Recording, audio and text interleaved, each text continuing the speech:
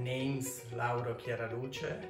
I am based in Italy, Rome, at the National Institute of Geophysics and Volcanology. I'm a seismologist at the National Earthquake Observatory and I am currently managing the Alto Tiberina Near Fault Observatory. It's a research infrastructure located in the Northern Apennines where we collect multidisciplinary data to investigate earthquakes, faulting and preparatory phase.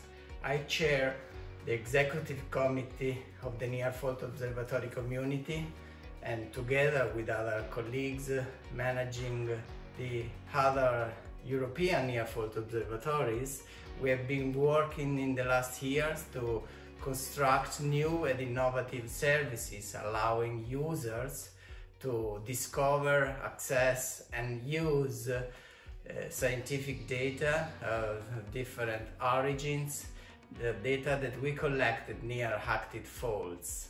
The main value of this portal, I believe, is definitely giving to members of scientific community and civil society, no matter where they are in developed country or not, the possibility to freely access uh, uh, the most diverse kind of data related to ongoing tectonic processes that can be directly used for their investigation. And this may really give an equal opportunity uh, to the scientific world at large, I believe.